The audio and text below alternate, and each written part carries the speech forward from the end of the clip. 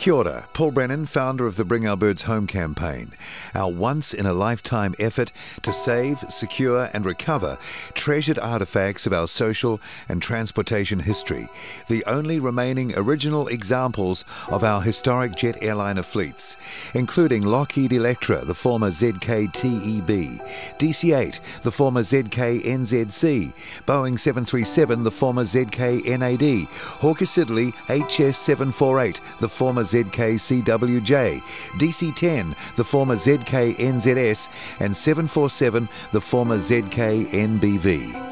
Nearly three years into our campaign, we've raised over $30,000, built a social media following of nearly 4,000, and we've built relationships and negotiated deals to buy or have donated the DC-8, 737, HS-748, and DC-10. Now we need to go to the next level of support and fundraising.